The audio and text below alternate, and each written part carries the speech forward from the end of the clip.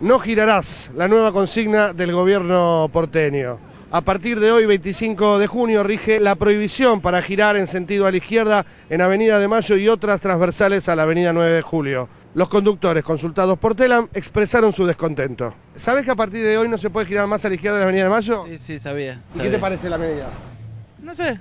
eh, En realidad me traba el tránsito acá. Yo tengo que, que doblar, tengo que ir hasta el obelisco ahora, pero bueno, qué sé yo. Ya está. O sea, ¿ayuda o complica? Para mí complica. Y la verdad que nos complican la vida todo. Pero bueno, esperemos que esto sirva para, para la gente que viene en, en el transporte público. Sí, es una complicación porque para después girar hay que dar una vuelta terrible. Eh, en principio no, no, no entiendo la medida, pero hay que darle tiempo. Es una complicación.